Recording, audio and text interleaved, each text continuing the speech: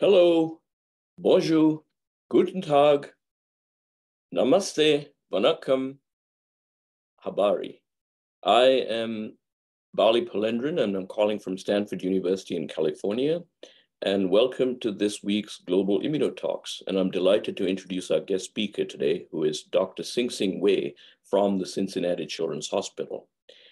Um, Dr. Wei is the Pauline and Lawson Reed Chair, Division of Infectious Diseases at the Cincinnati Children's Hospital and professor in the Department of Pediatrics at the University of Cincinnati. He is an infectious disease pediatrician uh, with an innate and contagious passion for discovery to improve human health. Uh, he has made many seminal contributions to reproductive and developmental immunology uh, with direct relevance to improving pregnancy outcomes and health of infants. Uh, his laboratory has really pioneered many different techniques for tracking immune responses in the pediatric population and during pregnancy, and utilize these tools to reveal fundamental immunological insights uh, into the interplay between pregnancy and immunity. Uh, he began his education when he did his undergraduate degree at the University of California in Berkeley, where he worked with Dr. Paul Bartlett. Um, there, he was interested in biosynthetic chemistry and he was trying to synthesize small molecule inhibitors of Mycobacterium tuberculosis. And then after his undergraduate degree, he pursued an MD PhD at the Albert Einstein College of Medicine in New York, where he, he had an epiphany. The very famous Barry Bloom, who was then a professor and department chair at Albert Einstein, was in Sing Sing's committee.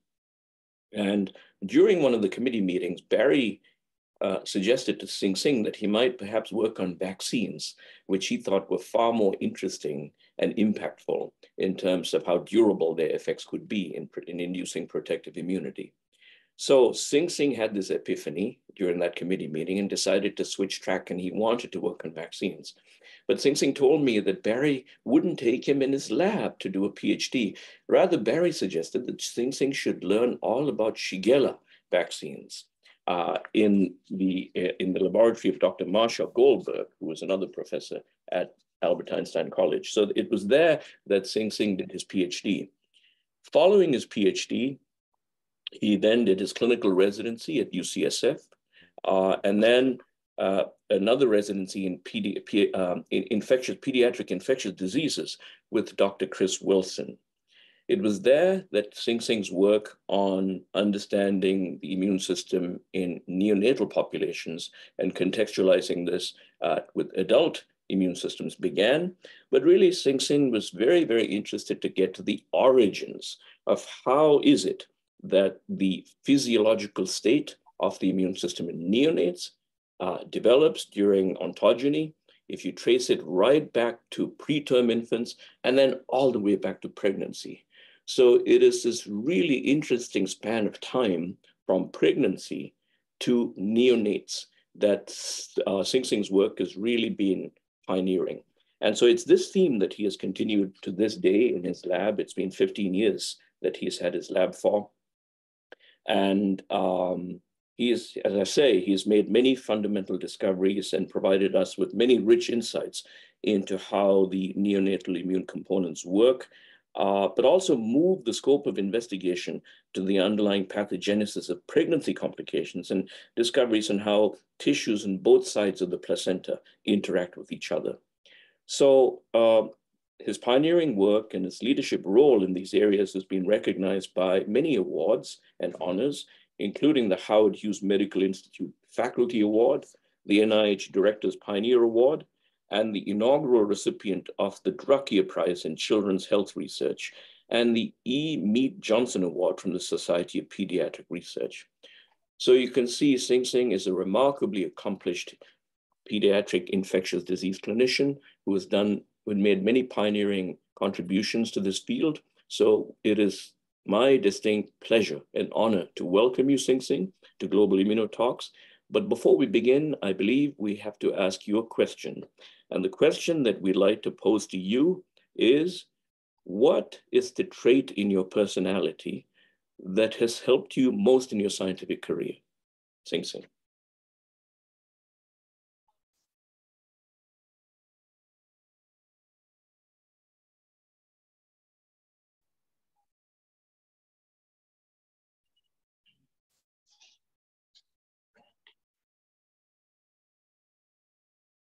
I think you're on mute, Sing Sing.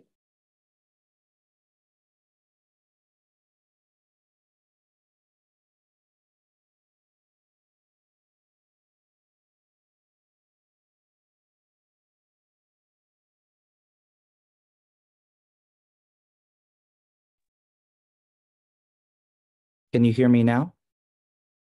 Yes, we can, and we can. Okay. Well, yeah. All right. So thanks so much, Bali and the organizers for uh, Global Immune Talks for this forum um, and allowing me to participate and um, and and Bali especially for that um, introduction. Um, with regards to your question, um, what's the best personality trait? Um, I I think I would say and especially for the people that worked with me, um, most people would not say that I'm the smartest person, nor am I the most hardworking person. But I think um, part of what's allowed me to um, survive in academic medicine, I think, has been the ability to try and communicate things and communicate problems and questions in simple, um, easy to understand ways. And, and I do that um, not deliberately, but um, purposefully. So then I can borrow other people's hard work and other people's smarts and then get them to buy into my my problem and, and my thinking. Um, part of that, I think, also includes um, freely admitting I don't know. And there's many, many things that um, I think we don't know about how our bodies work including the immune system. And so love to think about how to unpack and how to get to some new knowledge with you guys, not just today, but you know, moving forward as you guys listen to this online through through YouTube. Thank you so much, Sing Sing. That's a wonderfully refreshing answer. And I really, your humility is very inspiring. Thank you for that. So I think, uh, oh, before we you begin, I should say, as usual, we will not be having a formal Q&A session uh, after Sing Sing's talk, but rather, uh, if you have questions about his presentation, feel free to uh, ask him this through Twitter, and instructions on how you could ask him questions will follow his presentation and will be put up on the screen. So without further ado, Sing Sing, welcome. We're excited to hear your talk. Okay, so um, thanks again, everybody. Um, as Bali introduced, um, I'm an infectious disease pediatrician, and the way that I view immunology is really through that lens of taking care of um, sick babies and, and children. And I think this is um, some of the most recent statistics from the World Health Organization, and I think this illustrates um, the big problem for us. so 5 million um, children under age five die each year. And then I think what's even more remarkable about these statistics is that nearly half of it occurs in the first month of life. And, and that's totally disproportional because the first five years, each month would represent under 2%, but yet nearly half of those deaths occur in that first month. And I think that illustrates the point that um, people are the most vulnerable when they're the firstborn. And then it puts a lot of pressure then on pediatricians to then um, think about um, how to um, improve the health of people um, when they're in this, this window of, of, of vulnerability. I think um, for scientists um, who are thinking about also how to have impact, you can define impact in many different ways, but I think one of uh, one way to think about it is if you can take off major pieces of this pie, then wouldn't that have an enormous impact? Um, and so um, I want to just subdivide um, the parts of this pie that are highlighted in yellow here into two big categories that I'm going to try and touch upon today uh, based on the work that we're doing. Um, one is um, related to pregnancy, how pregnancy works and, and pregnancy complications. And, and the second is Um, related Excuse to. me, sorry, we can't see your screen. Oh, you can't?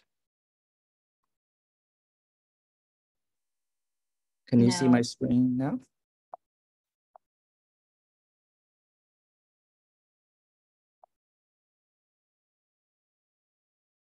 No, not yet. Yes, we can. Now, if you can put it in full screen.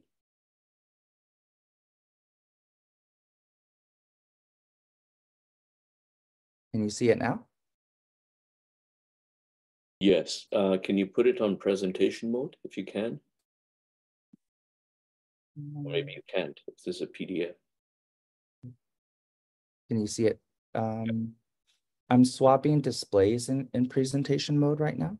Okay, that's, that's fine. This is good. Thank you. Okay. So um, the second category of um, things that kill newborn babies is related to infection.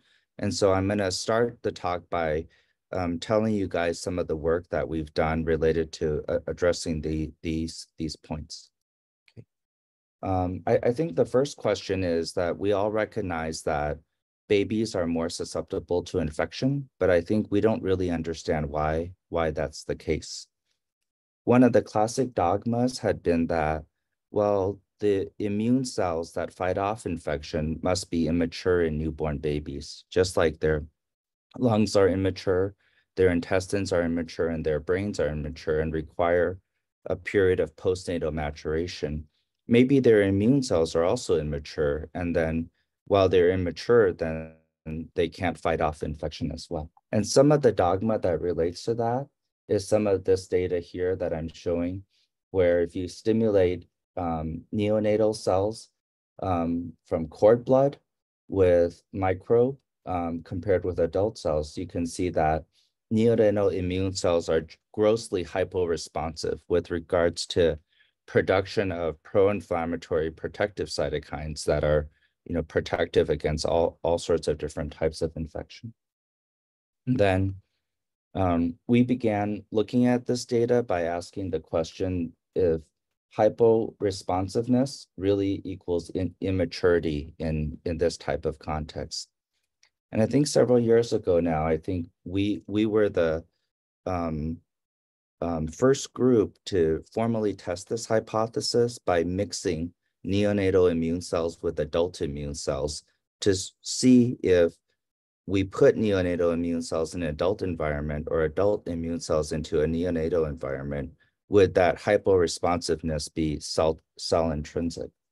And, and we did this in a special way in mice um, because in mice, we can use um, different strains that express um, different congenic markers. So then once we put them together, we can still distinguish adult cells within, within neonatal mice.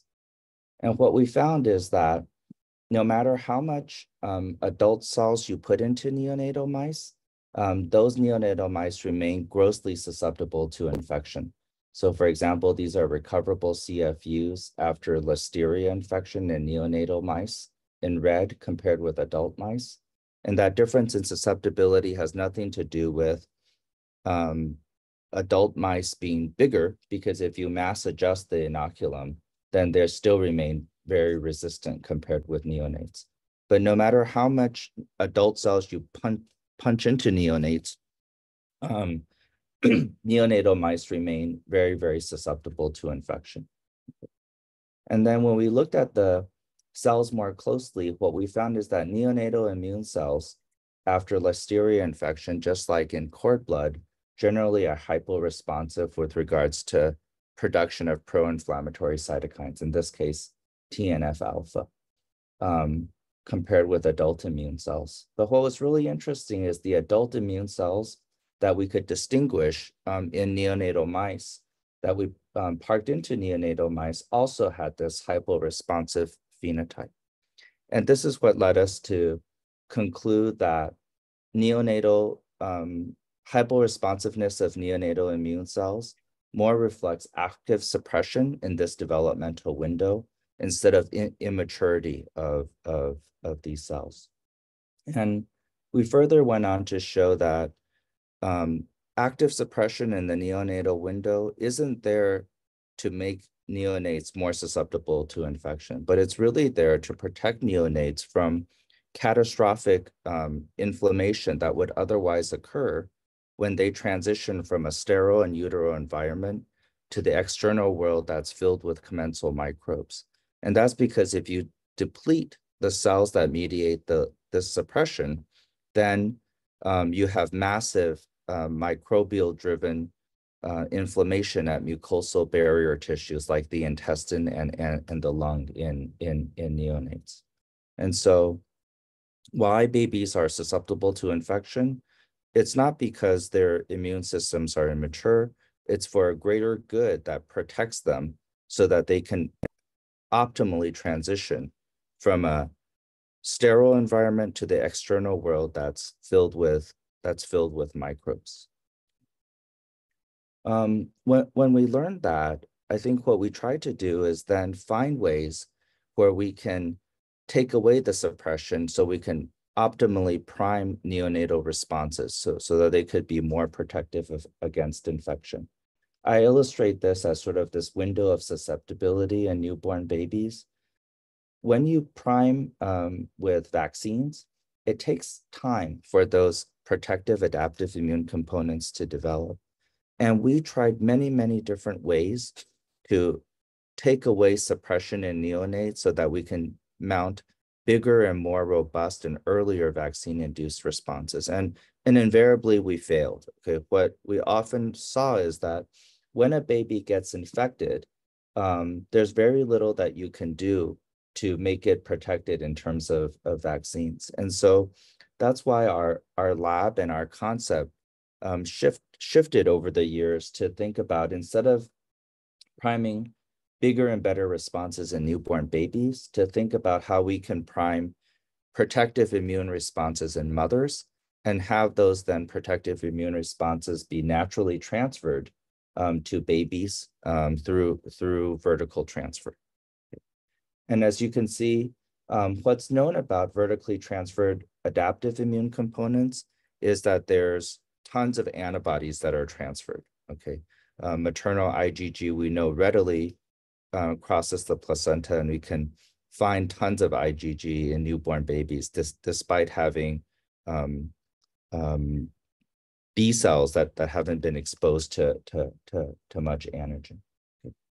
But I think this also then creates a dilemma. Um, this is a um, picture from Janeway's textbook in immunology, where he compares the different types of adaptive immune um, cells and components and sees um, which ones do different things. And what um, I think immunologists recognize is that you need both arms of the adaptive immune system, humoral immunity produced by B cells and also cellular immunity in the form of T cells, because they do very different things.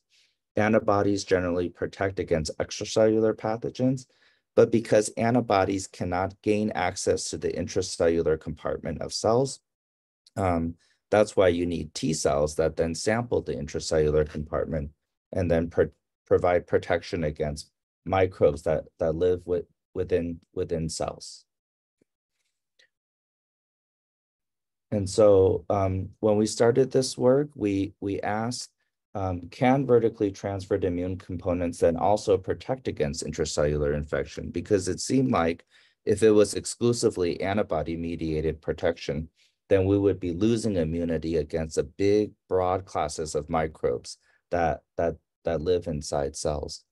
And, and we were especially um, optimistic because um, others had shown that um, there's a bidirectional trafficking of cells between mother and baby during pregnancy, and then the retention of especially maternal cells um, in offspring after they're born. And, and these, this phenomenon is called microchimerism, and we're going to talk about that a little bit later. But what we wondered is if the maternal cells that establish microchimerism in babies could be T cells and um, pathogen-specific T cells that then would make babies per, more protected against infection upon, upon vertical transfer. And for these studies, we use the same bacteria, Listeria monocytogenes, not only because it's an important prenatal pathogen, but also because it's an exclusive intracellular intracytoplasmic pathogen. And many cellular immunologists have used this as a model pathogen to probe how T cell immunity is is primed because protective immunity um, had been pretty clearly shown to be exclusively mediated by T cells with little to no contribution for, for antibodies. Okay.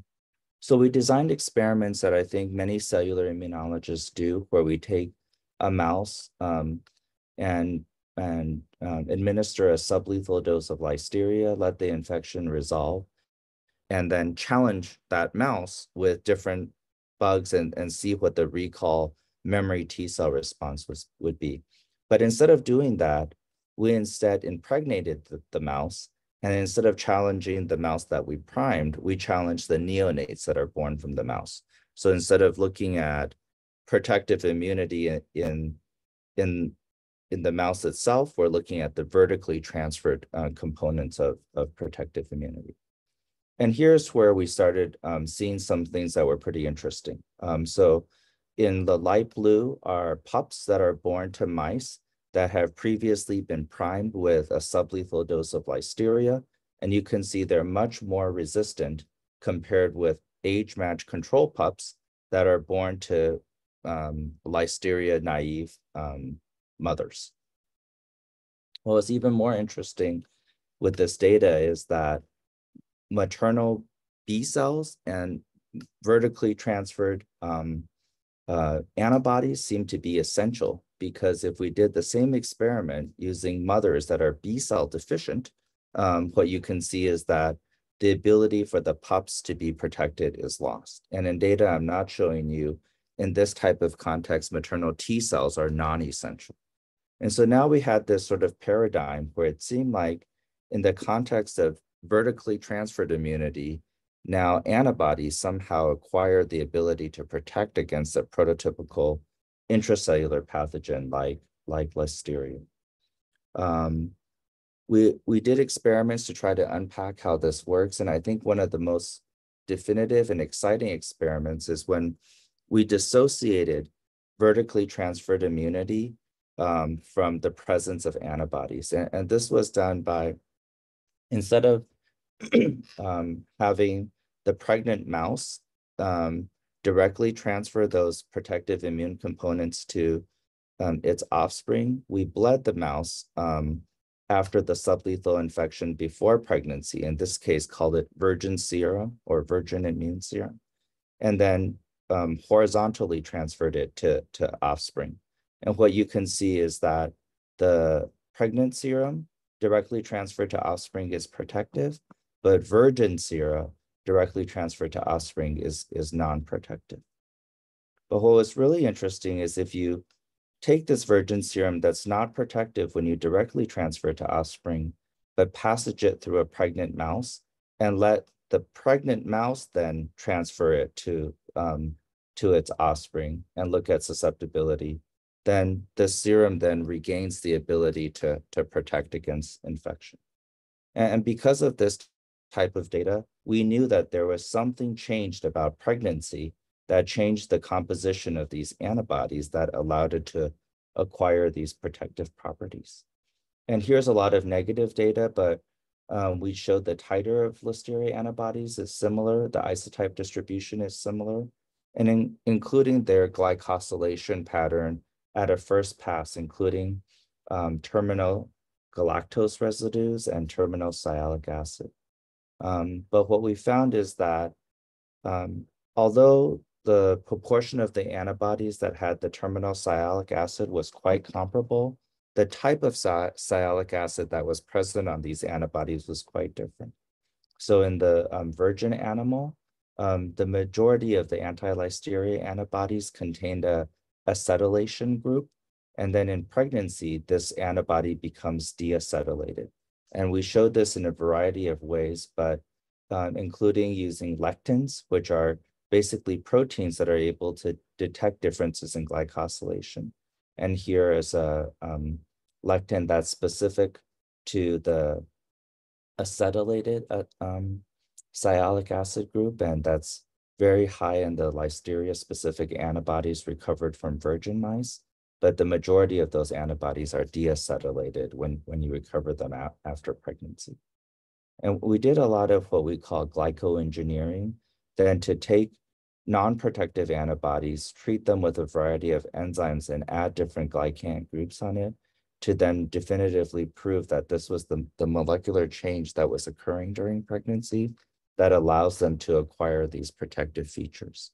And I'll just say that this data was published um, a little over a year ago, where we then um, explored the mechanism for how this one molecular change could affect so dramatically the protective effects of antibodies. And I invite you guys to, to read that paper.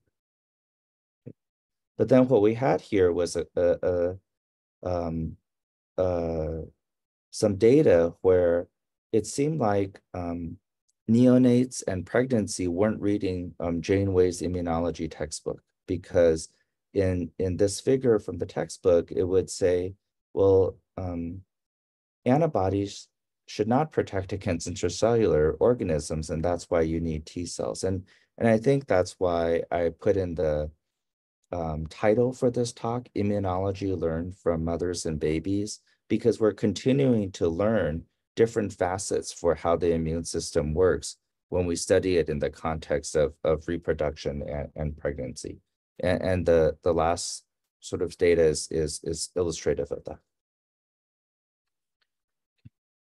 Now I'm going to transition to instead of step, um, talking about infection in newborn babies, I'm going to transition to talk about pregnancy and, and pregnancy complications. And, and in particular, I'm going to talk about um, preterm birth. Okay, this is a figure from um, a review written by um, Roberto Romero, where he called it preterm birth, one syndrome, many causes. And, and I edited I edited the title a little bit to highlight many, many causes because it's really, really um, complicated because it's so multifactorial. Mm. And I think this creates a dilemma because when you want to study then something complicated like pregnancy and preterm birth, um, there's not a natural attack point because then which one of these causes should you focus on in, in your research to, to think about how, how pregnancy works?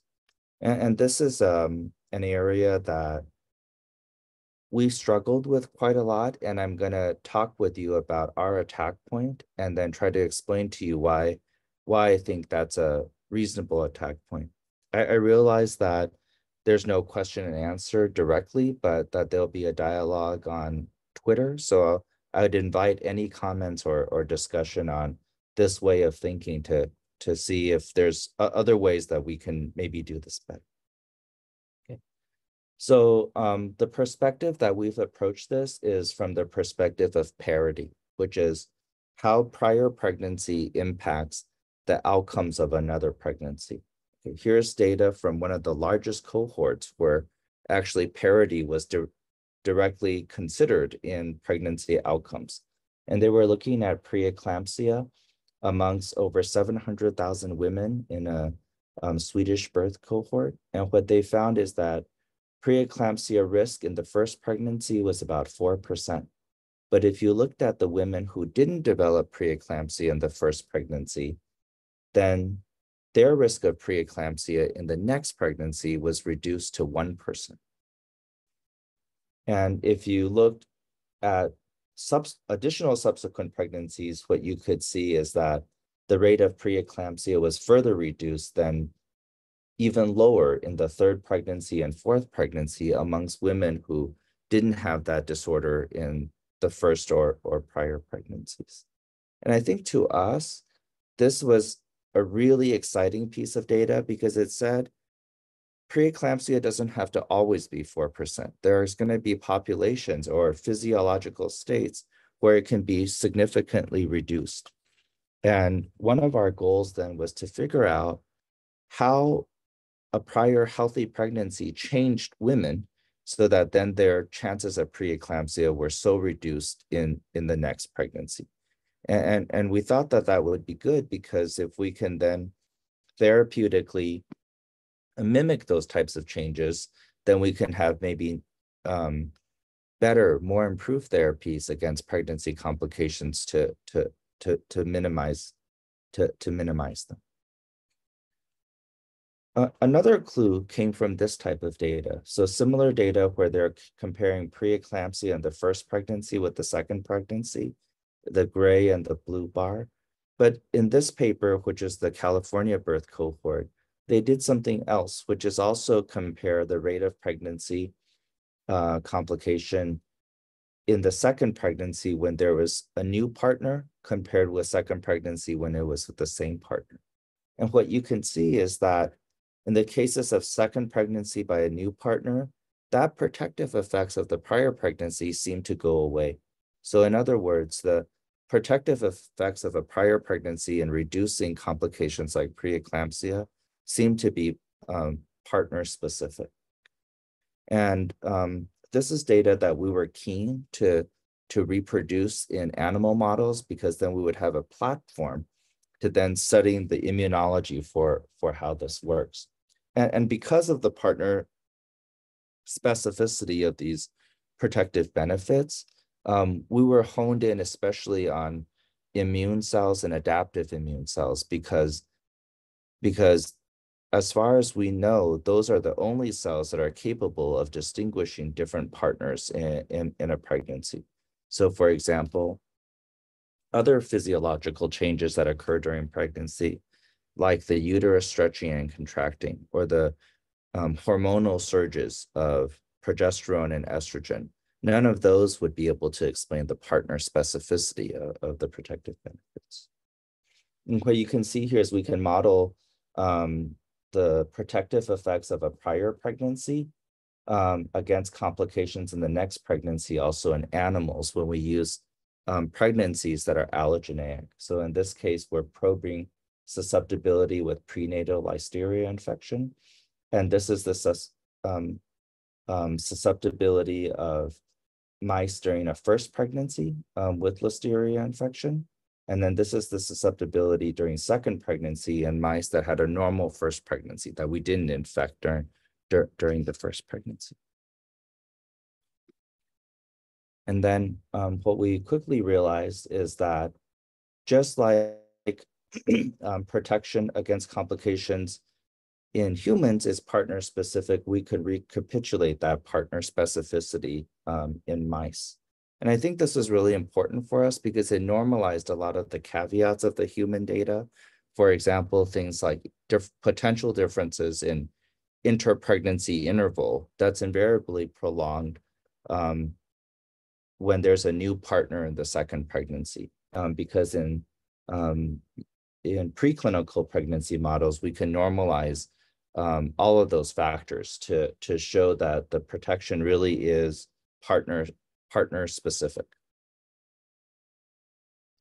Um, because of that reasoning, we started focusing a lot on adaptive immune cells in mothers during pregnancy, and in particular, um, adaptive immune cells with fetal specificity.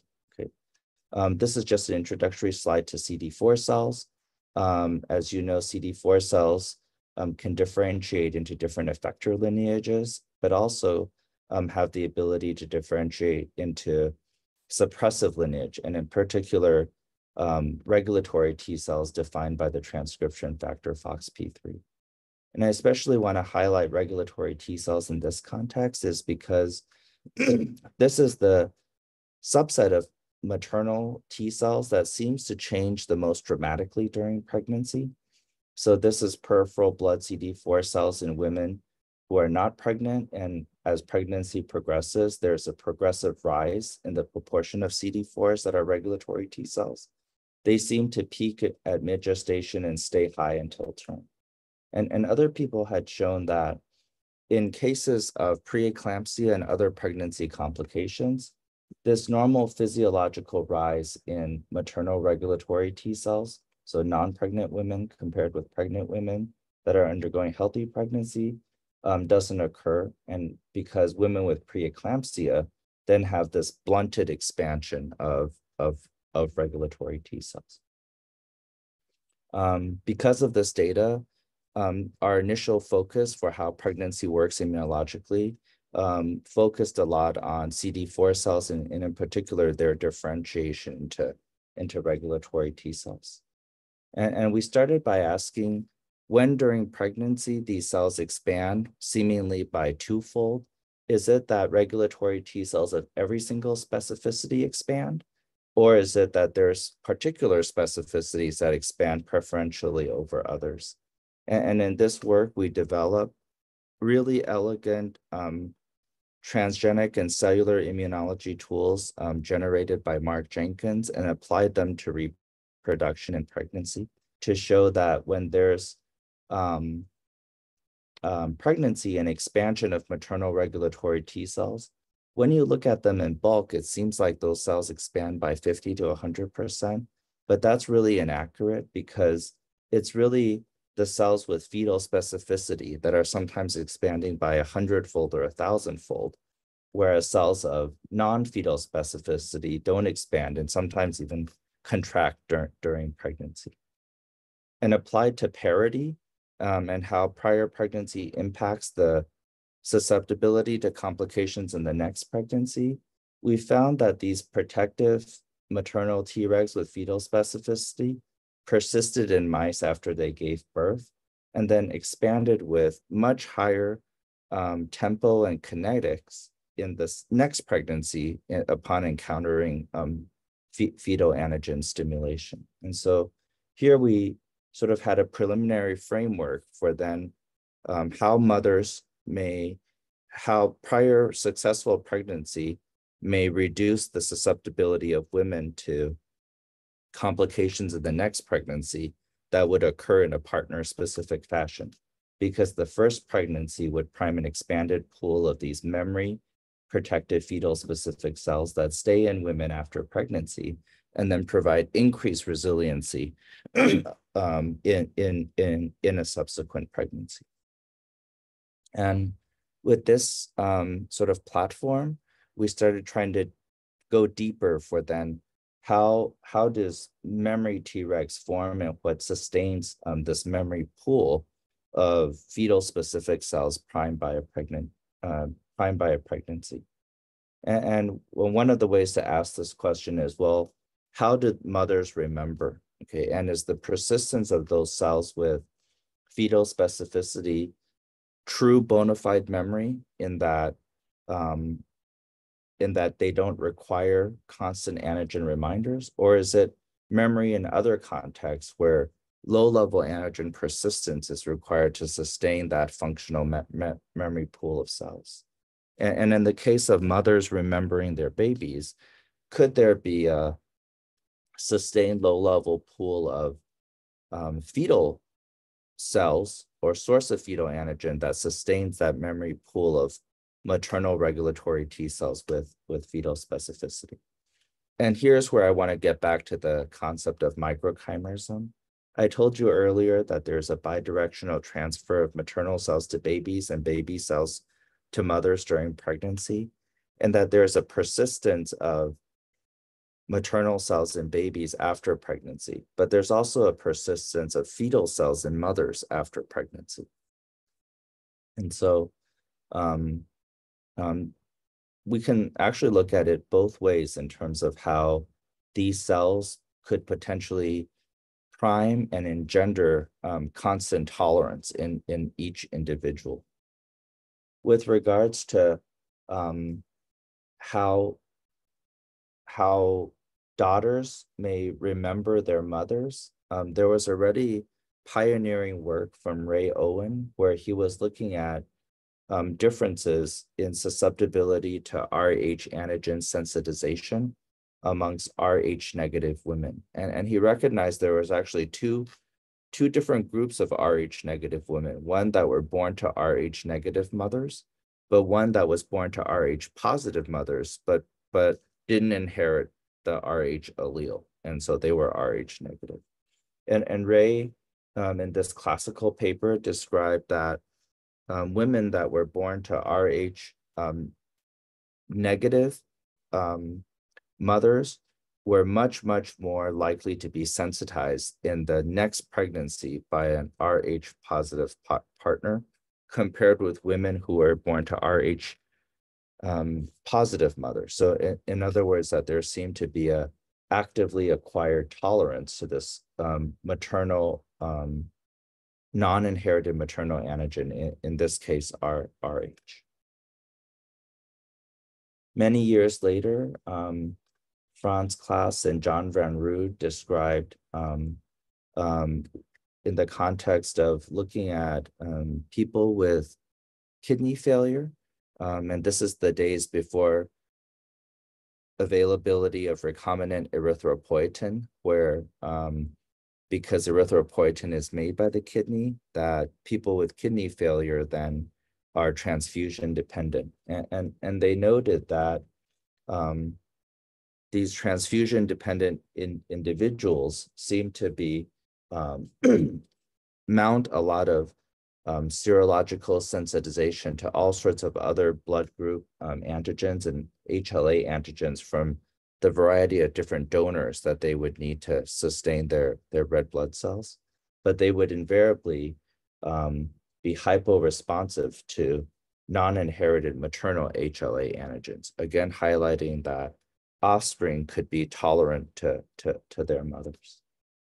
And just as another example, this is work by um, Will Burlingham's group in, in Wisconsin, where they were looking at um, sibling to sibling, long-term renal allograft survival from sibling to sibling donors. And, and Will's group noted that if you had a matching in the non-inherited maternal allele, the, the long-term survival of renal allografts was nearly identical to HLA matched sibling to sibling donors.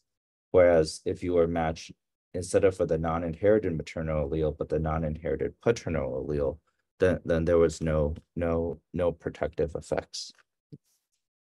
And, and, and we focused on this because at this point, this tolerance of offspring to mothers has been you know, recognized in several of these very spectacular examples and indirectly related to the presence of these microchimeric cells. And so um, our group tried to dissociate these phenomenon and tried to sort of uncover the chicken and egg relationship between microchimerism and tolerance of offspring to, to, to non-inherited maternal antigen. And, and our approach for doing that was de devising tools where we can experimentally um, where we can experimentally deplete um, microchimeric cells in offspring or in mothers and, and, look at the immunological and physiological sequelae of, of that type of experimental man manipulation. And, and, one of the first things we recognized is that when you um, when you um, have um, population of people that are tolerant to their non-inherited maternal antigens, that provides what we call cross-generational reproductive benefits. Because in those daughters that um, are now not only tolerant to, in this case, the red self-antigens that she inherits by normal Mendelian inheritance, but the green non-inherited maternal antigens, then um, she's also tolerant to that so that in the next generation pregnancy, if she encounters a, a partner with this overlap, then those are super resilient to, to perturbations in, in, in fetal tolerance.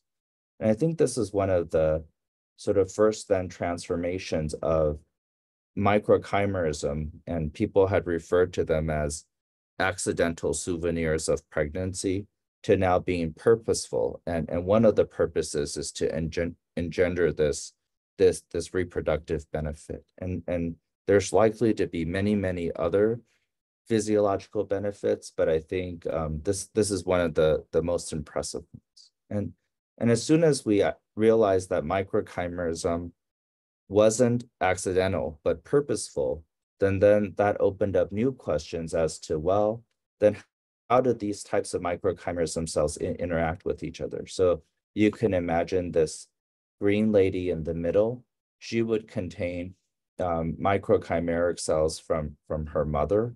But then when she becomes pregnant, the first time she would um, have fetal microchimeric cells from the first child, and then from the second child, and then the third and fourth child, um, and et cetera. And then this then created um, new questions for us um, to ask well, how do these different types of microchimeras, mi microchimeric cells respond to each other?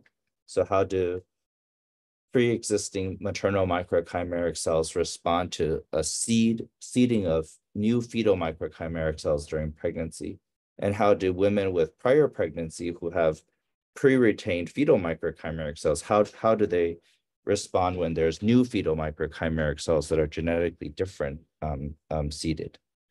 Um, and that's where I'm going to spend the last few minutes talking about. Um, is what what we found is something I think quite amazing is that when people are seeded with maternal microchimeric cells, it's really, really hard to make those microchimeric cells go away, except in the case of pregnancy.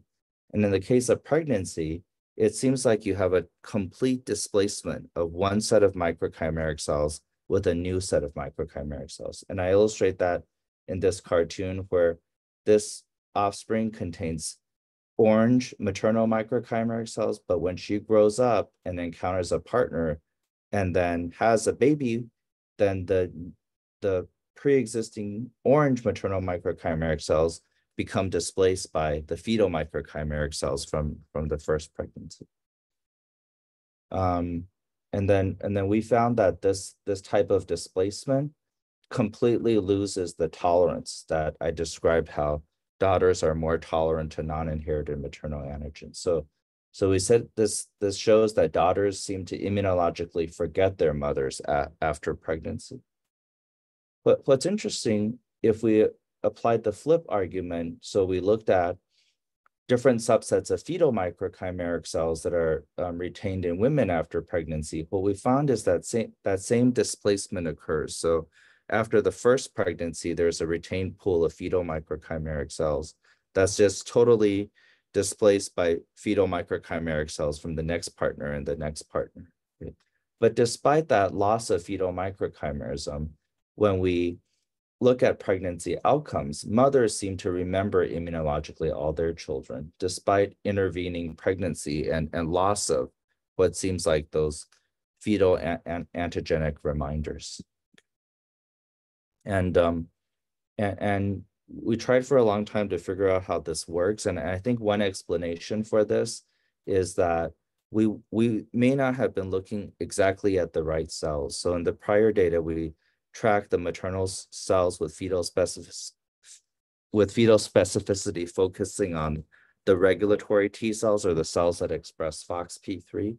In these types of more expanded experiments, we use lineage fate tracking mice where we can track not only FOXP3 Tregs, but cells that have ever become Tregs um, by crossing FOXP3 GFP Cree mice with Rosa 26D D tomato mice. And then we established allogeneic pregnancy in a um, male mice engineered to express model antigens, in this case, 2W1S and OVA. We let them deliver and we track the proportion of memory immune cells with fetal specificity. In this case, using 2W1S tetra enrichment. And you can see we can have a pool of these memory CD4 cells with fetal specificity. But what's interesting about their proportion is that um, a large proportion of these cells seem to um, have lost FOXP3 expression. So about 40% of the total D tomato positive pool is FOXP3 negative pool, which is very different than, than the bulk population for, for these cells. And what's even more interesting about this data is that if we deplete the pre-existing fetal microchimeric cells, then the the proportion of these cells that lose FOXP3 expression or turn into what people call X-Tregs becomes even more. So in, the, in this case, 60 to 80% of the maternal cells with fetal specificity are, are X-Tregs. And, and in data, I'm not, don't have time to show you, we, we prove that it's really this X-Treg compartment that's important for, for the ability of mothers to functionally remember their babies in terms of protection against complications in, in, in future pregnancies. Okay, so fetal microchimeric cells displace maternal microchimeric cells. Uh, new fetal microchimeric cells displace a pre-existing pool so that each person can have a fixed niche of, of microchimeric cells. Um, fetal tolerance seems to be more durable than maternal tolerance allowing for this X Treg uh, differentiation. And that's why in the case of pregnancy, we, we made this comment that daughters seem to forget with a pregnancy, but mothers seem to always remember their babies. So here is just a snapshot, I think, of a few different examples where we're learning how the immune system works from studying pregnancy and, and what I call the maternal fetal dyad. I think this has implications not just for um, reducing um, pregnancy complications and preventing um, infant and childhood mortality, but I think it also serves shows that reproduction in pregnancy is a really powerful lens to teach us how the immune system works that then can be applied to a variety of other contexts, including autoimmunity, transplantation, and, and, and cancer. So lastly, um, I just want to thank a few of the people that performed the work that I showed in this talk. Um, and here's a shameless advertisement for my lab here at Cincinnati Children's. I invite any comments or discussion um, via Twitter or any other platform, um, including email. Um, thank you so much, everyone, and um, look forward to the, the online discussion. Well, thank you so much, Sing Sing, for that wonderful talk. Very inspiring. And I think your love for children that you mentioned in your website comes across very clearly. And um, if I were a student, I would love to come to your lab and do research on some of the projects you talked about. But anyway, I really appreciate your lecture. As I mentioned, there will not be a formal Q&A session, but uh, you can ask Sing Sing your questions via Twitter using the instructions there. Search for account Global Immunotalks, find tweet that uh, says ask questions for Dr. Sing Sing. We're here. Reply to that tweet with your questions and mention hashtag Global Immuno. So with that, with that, this concludes this week's Global Immunotalks series. And I thank you all for joining. And I thank you, Sing Sing, for giving us such a wonderful lecture. Bye for now. Thank you so much, Bali and everybody. Bye bye, everyone.